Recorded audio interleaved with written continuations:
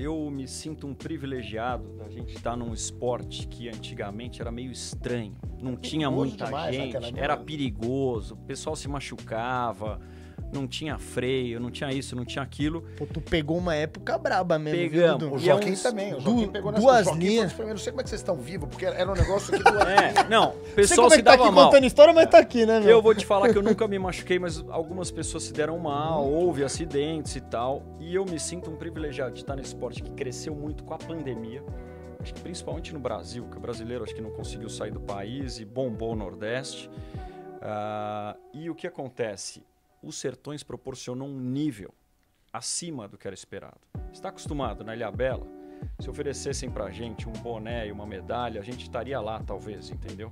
Mas tem muito mais que isso. Tem até container, é, pô, tem tudo. Uma grande infraestrutura que normalmente não teria numa regata.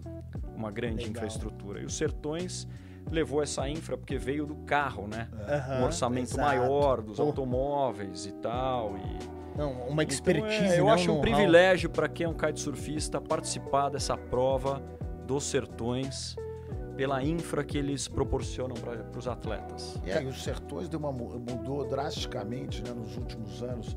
Ah, eu falo isso porque eu vejo ah, eh, anos atrás os sertões era um negócio meio fechado, a entrada era um negócio muito mais, era um negócio meio restrito para os profissionais. Hoje os sertões abri, ele, ele abriu as portas para quem quiser participar, para times. Eu já participei do, do rally há dois anos atrás, era eu, a Loki, o Nelsinho Piquet. Eu cheguei na final. Então eh, você tem essa vivência. Então hoje eles abriram o leque. E tem um empresário por trás, né, que é o Júlio. Esse é eu falo pro, pro Júlio, é o cara que vende, né, um dos fundadores da XP, tinha tudo para botar o burro na sombra, foi lá e fez um dos projetos imobiliários mais, está fazendo mais inacreditáveis que eu já vi, que é aquele, né, o Viva Canaú, o Wind House, ali são quase 12 milhões de metros quadrados. E ele botou o dedo dele aqui também, acreditou no Rally dos Sertões, que é, ah, ele, fez, ele e o Joaquim fizeram uma mudança nessa indústria. Ah, hoje é com- falam do Rally do Dakar, né, do Rally Dakar, Paris Dakar. Hoje o- É eu acho que não conheço nenhuma outra empresa no mundo que esteja fazendo o que o Rally dos Sertões está fazendo. Eu acho que hoje o Rally dos Sertões virou um grande exemplo nacional e internacional. Que legal. Essa experiência que você pontou sua, por exemplo, dentro do, do, do Rally de Carros, né? Do Rally dos Sertões.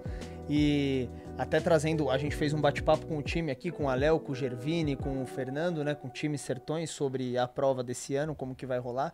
E uma outra experiência muito interessante de tudo isso, cara, é, é- são né, esses, esses níveis de velejadores, tudo isso acontecendo, cara, e vocês podendo estar dentro da água com aquilo ali que a gente viu na tela.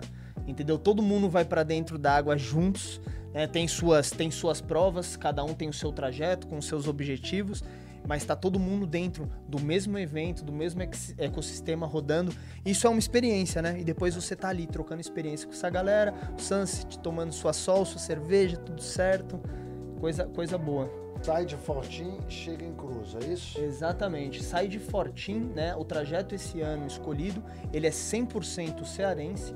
Ele sai lá de Fortim, na Vila Kite do Jaguaribe, vai pro Beach Park, em Aquirás, certo? Aí vocês vão percorrer um trajeto por carro no dia seguinte, sair do Porto do Pecém, chegar no Vila Kite do Zorá, que é lá em Trairi, no Guajiru, Praia do Guajiru. No outro dia, Praia do Guajiru, Ilha do Guajiru.